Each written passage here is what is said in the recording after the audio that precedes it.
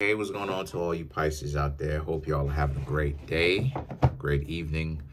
Please make sure to smash that like button. There's a link. Uh, also, there's a link in the comment section below called a Linktree link. Click on it. It will redirect you to a website which has all the ways to be able to financially support the show so I can most definitely keep the channel going. Look, you Pisces have the Three of Pentacles, the Five of Wands, and you Pisces have the Six of Swords, right? These three cards right here. So what I'm seeing about this situation for a lot of you is that a lot of you very much so all about how, just kind of show you, right? As well as seeing my face. So a lot of you Pisces are very much so interested in Okay, so a lot of you need to really just pay attention to what you've got going on. There's going to be some people around you that will try to bring you down, or if, even if it's not necessarily others, right, in the form of other people, but it's more so in the form of like uh, certain situations. The but more it is going to be in the form of uh, other people trying to bring you down. The Five of Wands represents how uh, frustrated a lot of you Pisces really are. And the Six of Swords, why it is that you need some form of ability to stay by yourself or why you need to stay away from the crazies in the first place. Is because you Pisces are essentially too good for, for some people sometimes. Sometimes y'all could really show a lot of love to somebody else and they not really think of you much past money or a body or whatever the situation happens to be. So a lot of you Pisces very much so need to understand that, you know, you have been too good to people sometimes. And the Six of Swords represents you need to learn to stop sacrificing yourself when it's not necessary. And what I what I mean for you Pisces is Stop allowing yourselves to be put in messed up situations that's caused by others because you because you want to help others. You know, um, people need to a little. You know, even your own friends friends need to actually have some backbone about them. So if there's any kind of crazy situation that you Pisces may have gotten into because of your friends, right? Says the Three of Pentacles, then you need to really watch out for that. And, and you should not be letting your so-called friends drag you into a, a confrontation, right, at all. You need to really start to question them. And that if those are individuals that don't understand why that's so messed up in the first place, right, to put you in a messed up situation and now you have to have their back, they are a liability. They are a huge liability right? Because I'm seeing some form of confrontation that's caused. So maybe it's a job situation. Maybe it's it's even some sort of friendship situation where, you know, um, maybe even a combination of both, where the person that you know on your job, right, that you once would call these this person, these people, your friends, now all of a sudden they're giving you all kinds of problems They're giving you a lot of problems. And a lot of you Pisces are like, well, okay, well, what exactly? You know what I mean? Like, they may be back talking to boss. Doesn't even necessarily have to be specifically that. These could be people that could just, y'all are cool. And the next thing you know, snap of the finger, the next thing you know, now all of a sudden, they want to now show you a whole new face. Now, all of a sudden, they're your adversary just like that out of nowhere. Now they don't want to rock with you. Now, all of a sudden, they don't want to hang out with you anymore. The Ten of Swords now is about how it is that a lot of you Pisces, you know, this is this is the the nonsense, and this is how it is that it starts. A lot of people could be around you just really jealous, really envious. You know, if you Pisces have ever paid attention to times in your life where it is that you Pisces are in a situation where you're you're in a messed up state and then somebody is living good and then you Pisces go off and you do better for yourself and you're just minding your own business and then you reach out to this other person or whatever the case may be and then the next thing you know this person doesn't want to pick up the phone on you anymore when you're trying to reach out. This person, you're not asking them for anything, but the person now all of a sudden, you know, if they pick up the phone or if they call you or if, if you see them, now all of a sudden they're telling you, don't call them again. Don't reach out. And this is the and, and envy is, is definitely something that, you know, um, everyone has to deal with. But Pisces is definitely one of those zodiac signs, right? People take, unfortunately, people will try to really use Pisces, y'all, unfortunately, right? Overplan their hand, trying to act like they're running game on you, right? Because a lot of you Pisces are so beautiful. You know, a lot of you are beautiful in the first place. A lot of you are, you know, very much so capable when you have enough knowledge, right? Or when you're when you are inspired. A lot of times, like bright ideas, like Pisces, y'all be having bright ideas. Or like you'll have a problem and you'll think of the solution, right? The solution will come to you. Like all of that type of stuff is the is evidence of the oversoul or the soul, as it is that most people will call it, right? Or the oversoul. It's, it's literally the same thing. But the oversoul just represents our soul that our soul that is physically over our body that that that uh hovers or levitates over our body but the oversoul and the soul is the same thing in essence it, it, it it's the same thing and um the, the the oversoul is just the earth's representation of what the soul would be basically right it's what most people would consider their guardian angel, right? If we're getting into it. And the point that I'm trying to make here is, is that, you know, Pisces is an example of the oversoul. Um, Sagittarius is, Virgo is, Aquarius. Aquarius is Aquarius is, but like Aquarius is kind of like stumbling to a certain extent because Aquarius is trying to logisticize or make every single thing logical sometimes.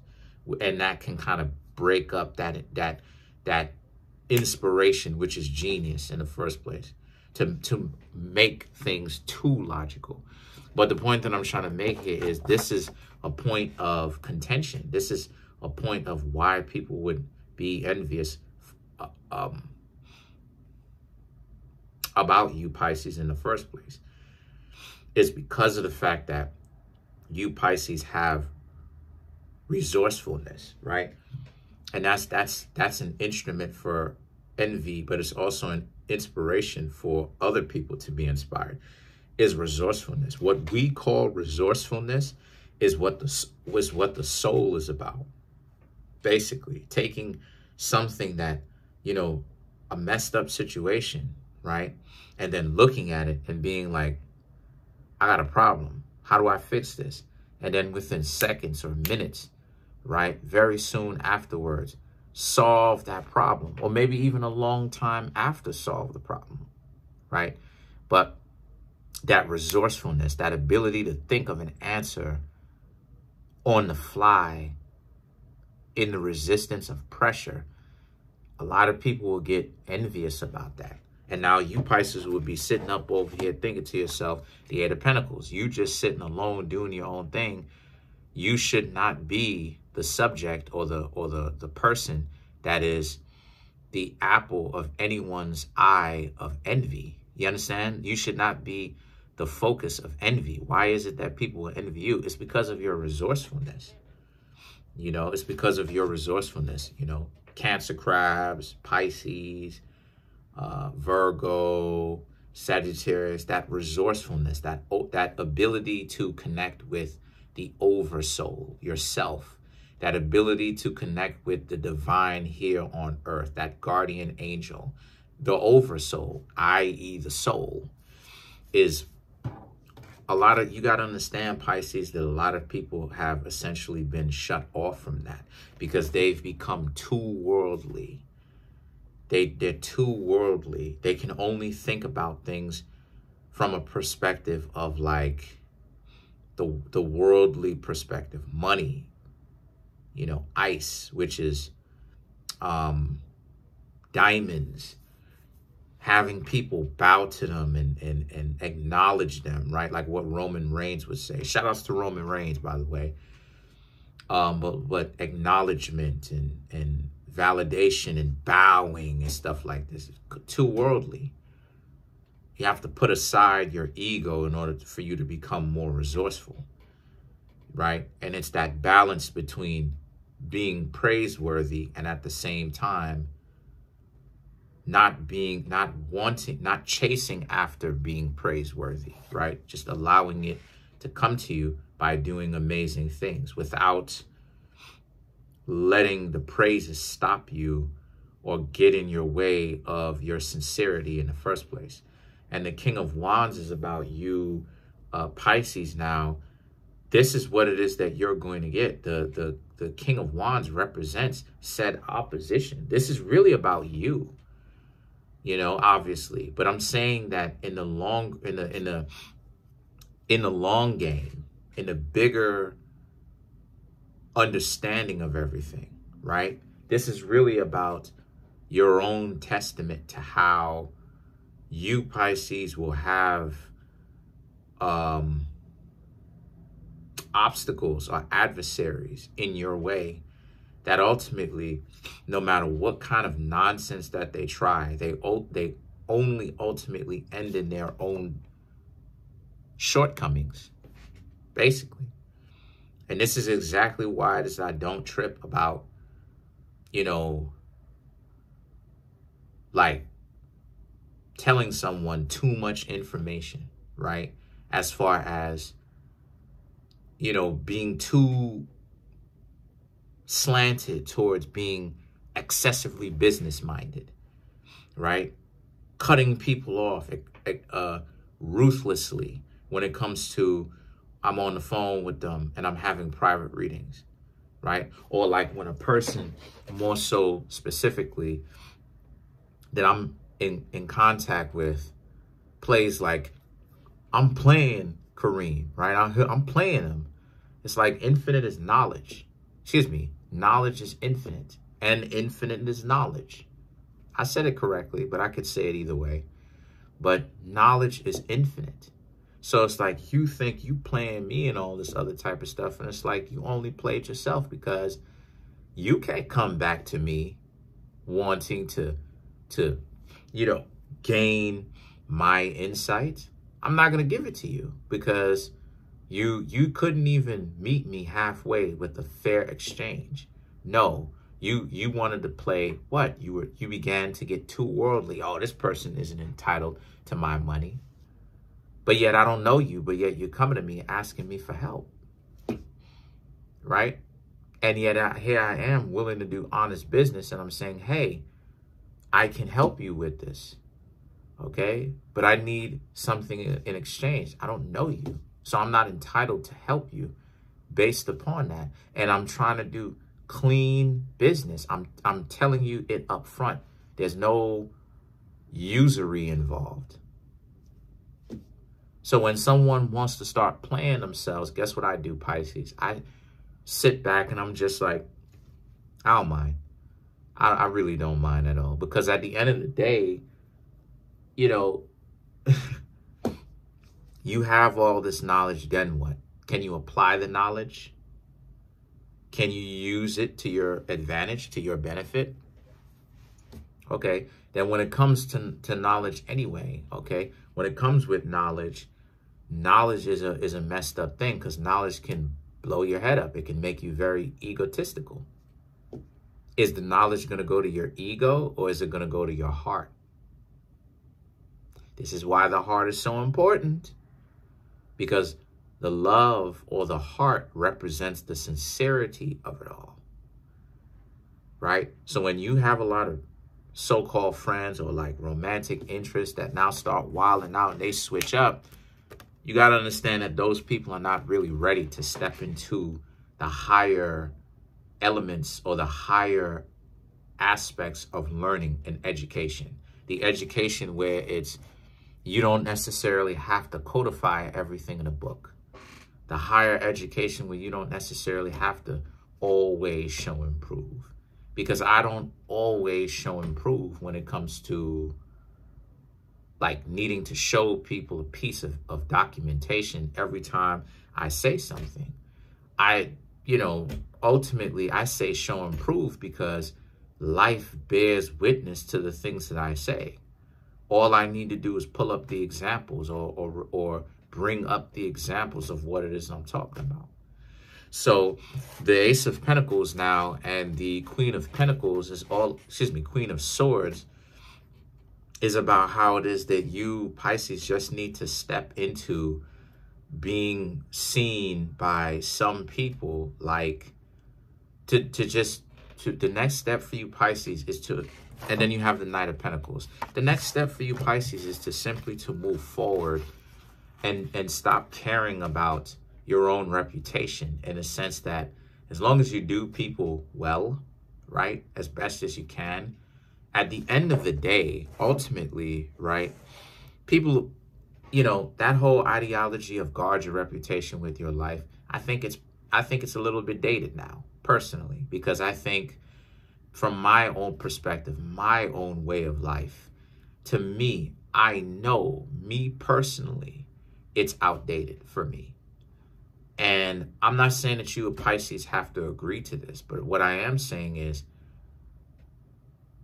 it's outdated from the perspective of like, you could be so caught up with what it is that other people think of you as far as reputation wise to the point where you can end up being an idiot, uh, uh, a person that is just meant to be not respected because you're controlled by your reputation. Because ultimately, one thing that I had to learn about that that law of power in the 48 law laws of power, right?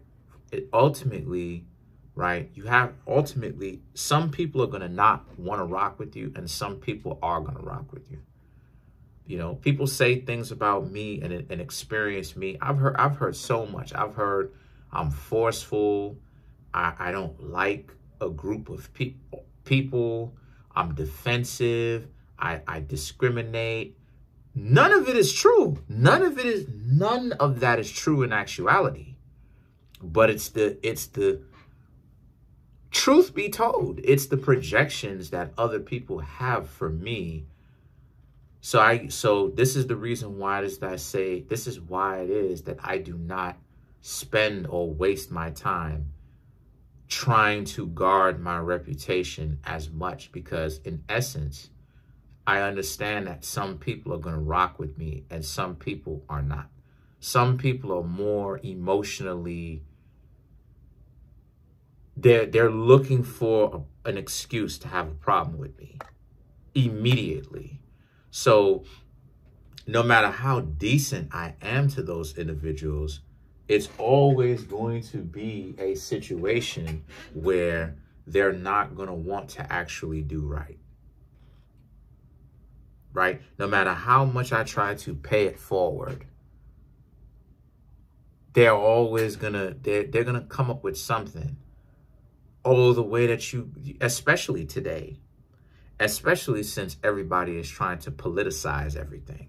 Everybody's trying to be a victim well, not obviously not absolutely everybody, of course, but I'm saying that to give you the uh, a state of mind, uh, more so accurately a mindset, to put you in a mindset, right? A state of mind, right?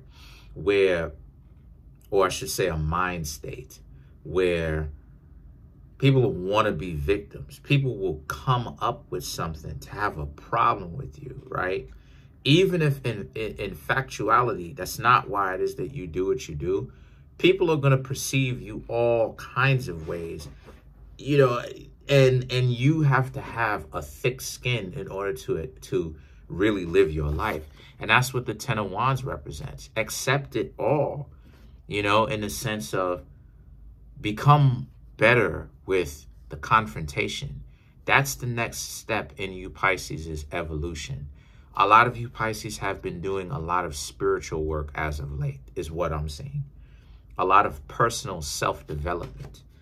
and seeing because ultimately and, and I'll even go I'll even go further and say this right if y'all not doing anything I'm not doing anything I'm in no hurry to to do the other video as of right now I'm just chilling right now just having a real good long reading with y'all just really kicking it getting comfortable getting my feet wet um you know even when it comes to that that's your next step in evolution because ultimately, when people say these things to you, they're really revealing elements of themselves anyway, especially if it's not true. If it has no basis in reality, you know, like with the with the instance of me being forceful. I'm a guy.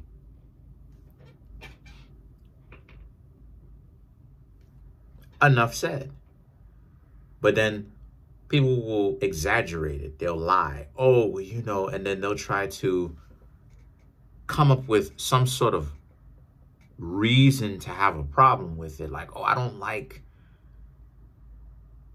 So you like guys. So I don't like this. And it's like, how many times do I have to sit up here and say that I'm a Sigma? I'm not trying to control anybody. So you, you, so what that says to me about you is you need to have a problem.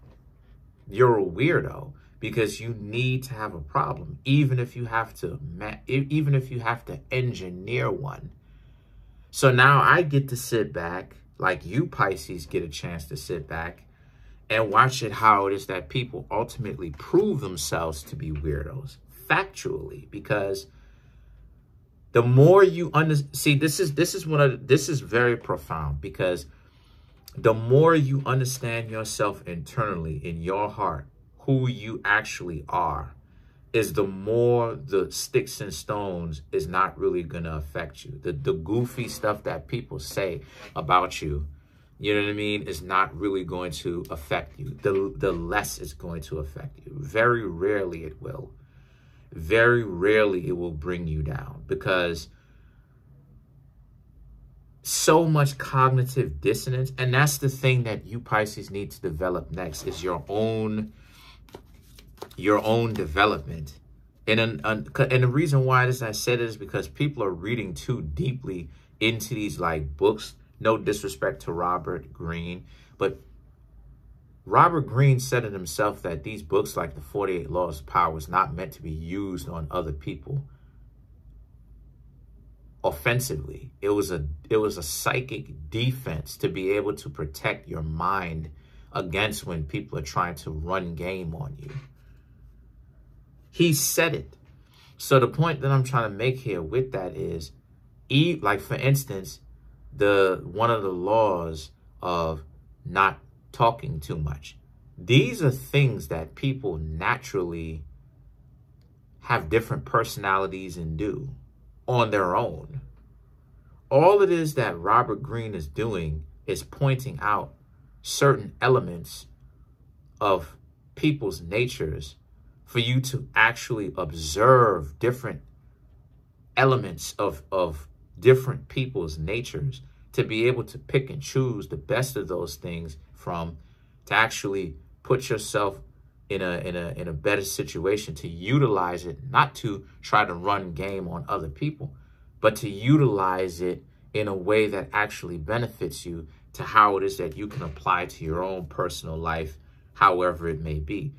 But what a lot of the dum dums have done, Pisces, what a lot of the dum dums have done is they've essentially using it, trying to call themselves lording over other people. It's stupid, wasting time, wasting their own time trying to run game. So now let's clarify the Ten of Wands.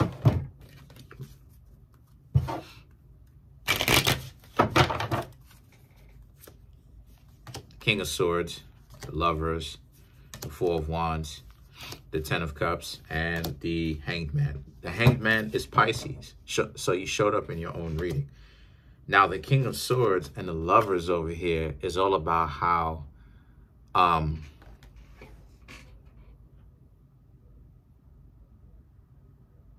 yeah, yeah, that's very interesting. So what it's saying is you got the hanged man up in there, It's saying that when it is that people come to you and they make it seem like they love you or they tell you that they love you, right? Or they show up with a smile on their face. The King of Swords and the Lovers represents you have to really be able to sit back and observe to see how people move in the sense of be patient because people will tell you anything but you have to really sit back and and not just see their actions but also learn to see their intentions behind their actions i don't get into beefs with people or stop talking to people because of only the things that they do. I stop talking to people and stop taking them seriously to the point where I don't want to hang out with them based upon their intent. A person who decides that they don't want to talk to me anymore and I haven't said or done anything, granted, it is 100% their decision in order to do that. But if one minute we are cool literally hours ago. And then the next minute you're going at me talking about how it is and I'm not someone that is a good friend or someone who really means you wisdom and prosperity and you and you are projecting onto me i'm looking at the intent and i'm seeing that that person is not necessarily the person that i want to have around me I don't care if I rub them the wrong way. I don't care if I offend them because they're getting offended. They would be offended anyway. They would be offended based upon the projections that they think that they're seeing. They're going momentarily crazy. So now the Four of Wands and the Ten of Cups now, however, represents how a lot of you have to understand that that that the house that you Pisces are trying to build is within yourself, the internal house. Uh, yes, as well as the external house, right? Build your body up, make sure that your physical appearance is good, but you also want to make sure that you're actually healthy on top of it. It's time for you Pisces to really start taking care of yourselves and be patient because ultimately you're you you're being patient with yourself right this is about right now is about you, Pisces, needing to slow down and understand that you are on the verge of self-discovery. Stop trying to rush stuff to be in relationships so bad because what you're doing here is something that most people on earth don't actually have the heart to do. And what you're doing is you're evolving, Pisces, meaning that you're starting to be able to understand people's intentions behind the nonsense that they're doing you have dysfunctional, disrespectful people coming to you because of the fact that people that once showed themselves like they are decent people, they will betray you. Or people who may not know you have made a very strong decision to not want to be at peace with you. And, and you are now being able to see, to, excuse me, to observe and see their projections so that's pretty much it. Comment on the video, like the video, subscribe.